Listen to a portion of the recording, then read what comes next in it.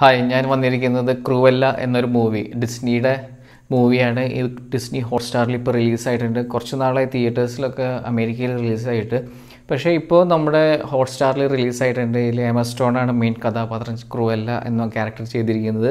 ഈ movie hundred and one dimension എന്ന മൂവിയിൽ നിന്നുള്ള ക്യാരക്ടറാണ് ക്രൂവല്ല എന്ന് പറയുന്ന ക്യാരക്ടർ അതിന്റെ അതിന്റെ പ്രീക്വലാണോ അതിന്റെ നെക്സ്റ്റ് പാർട്ടാണോ അല്ലെങ്കിൽ അതിന്റെ റീമേക്ക് ആണോ എന്ന് എനിക്കറിയില്ല.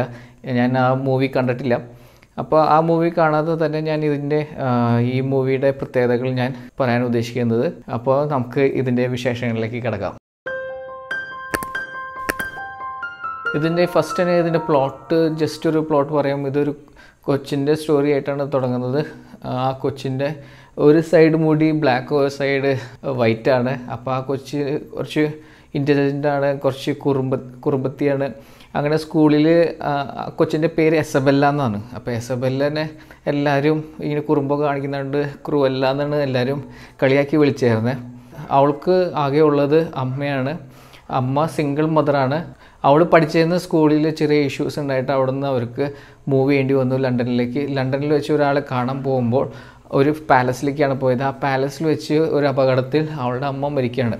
അമ്മ മരിക്കാനുള്ള കാരണം എസബെല്ലാണ് എന്ന് തോന്നൽ എസബെല്ല എന്ന് പറഞ്ഞാൽ ക്രൂവല്ലയാണെന്ന് ഒരു തോന്നൽ ആ കുട്ടിക്ക് വരുന്നു. കുട്ടി അവിടെ നിന്ന് ഓടി രക്ഷപ്പെടുന്നു.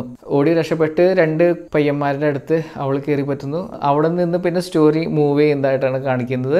ബാക്കി നിങ്ങൾക്ക് ഹോട്ട്സ്റ്റാറിൽ കാണാം. ഇനി നമുക്ക് മൂവിയുടെ പ്രത്യേകതകളിലേക്ക് കിടക്കാം. ഈ മൂവി ആക്ച്വലി ഒരു ഡാർക്ക് മോഡലാണ് ഈ ഫിലിം എടുത്തിരിക്കുന്നത്. ആ കളർ ടോണൊക്കെ നമുക്ക് ഫീൽ ചെയ്യും.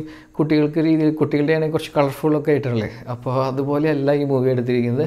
പിന്നെ ഈ മൂവിയുടെ ഏറ്റവും പ്രത്യേകത നമ്മുടെ ആക്ടേഴ്സാണ് എസ് സ്റ്റോണിന്റെ ആക്ടിങ് വളരെ നന്നായി ചെയ്തിട്ടുണ്ട്.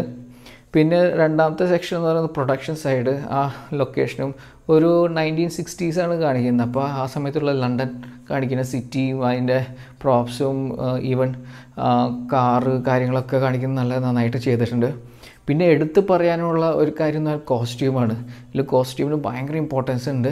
പിന്നെ കുറേ അഡ്വഞ്ചർ സീൻസ് ചേസിങ് കുറേ രസകരമായ ത്രില്ലിങ് മൊമെന്റ്സ് ഈ മൂവിയിലുണ്ട് പിന്നെ ഏറ്റവും പ്രത്യേകതയായിട്ട് എനിക്ക് ഫീൽ ചെയ്തത് അതിന്റെ മ്യൂസിക്കാണ് മ്യൂസിക് നല്ല രസമാണ്. ഓരോ ത്രില്ലിങ് മൂഡ്സിലുള്ളതും പിന്നെ ഇതിലൊരു ഫാഷൻ ഡിസൈനിങ് സെക്ഷൻ കാണിക്കുന്നത് അതും വളരെ നല്ല രസമായിട്ടാണ് കാണിക്കുന്നത് ഈ പറഞ്ഞ പോലെ ഡാർക്ക് ആയിട്ട് എടുത്തെങ്കിലും കുട്ടികളൊക്കെ ആസ്വദിക്കാൻ കുറേ എലമെന്റ്സ് ഈ മൂവിയിലുണ്ട് പിന്നെ ചെറിയ നെഗറ്റീവായിട്ട് എനിക്ക് ഫീൽ ചെയ്ത് കുറച്ച് ലെങ്തിയാണ് മൂവി അതുമാത്രം കുറച്ച് ഡ്രാഗിങ് ഇടയ്ക്ക് ഫീൽ ചെയ്തു വന്നാലും സ്റ്റിൽ ഒരു നമുക്ക് ആ മൂവി നന്നായിട്ട് ആസ്വദിക്കാൻ പറ്റും. മൊത്തത്തിൽ പറയുകയാണെങ്കിൽ എനിക്ക് ഈ മൂവി വളരെ ഇഷ്ടമായി ഒരു എയ്റ്റ് ഔട്ട് ഓഫ് ടെൻ കൊടുക്കാൻ പറ്റാവുന്ന നല്ലൊരു ഡിസ്നി മൂവിയാണ് നിങ്ങൾക്ക് ഈ റിവ്യൂ ഇഷ്ടമാവുകയാണെങ്കിൽ ലൈക്ക് ചെയ്യുക ഷെയർ ചെയ്യുക സബ്സ്ക്രൈബ് ചെയ്യുക. ഇനി നമുക്ക് അടുത്ത വീഡിയോയിൽ കാണാം. ബൈ